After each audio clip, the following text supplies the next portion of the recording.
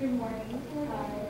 Um, uh, my claim today is that Los Angeles is better than New York City. So you might agree or not.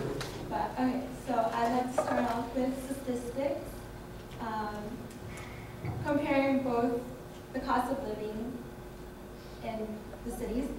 Um, assuming that you're renting in both cities and um, a person spends about $600 $6,600 um, living in New York, uh, can maintain the same standard of living um, in Los Angeles for $4,500.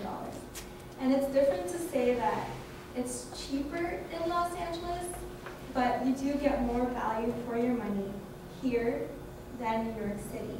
In fact, um, LA apartments offer more per offer more square footage per dollar here in New York City. So that and second, I would like to give an example proving why um, Los Angeles is better than New York City, and that we have advantage over attractions here. So with just a short drive, you can go to the beach, um, enjoy the sun, or surfing or swimming. And if that's not your cup of tea, then you can go skiing in the mountains. And if that doesn't cut it for you, you can go camping in the desert if you really want to. And, and well, compared to New York City, you would have to drive miles and miles, miles and miles past buildings and um, sit in traffic for long periods of time just to get to the nearby beach. And if that's a good one, I mean, if you're lucky, it's a good one on a good weather.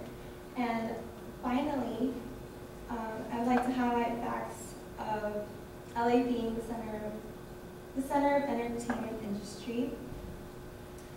Um, even though New York has Broadway and other famous stages, it's just the Madison Square Garden, LA is home to a lot of the major television and film productions today.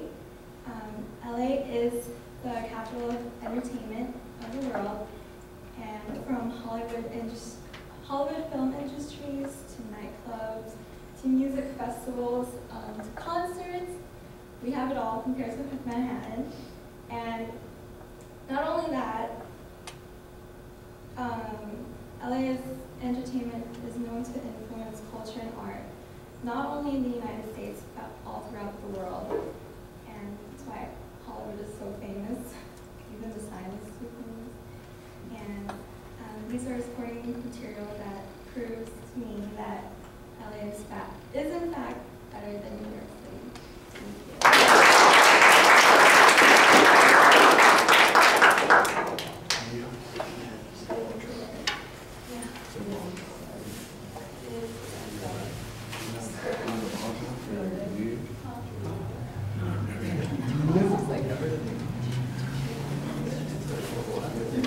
Thank you.